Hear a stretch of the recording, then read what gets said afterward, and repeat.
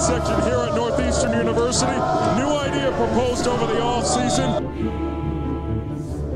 And you can certainly tell with the energy they have here, they're certainly helping Northeastern.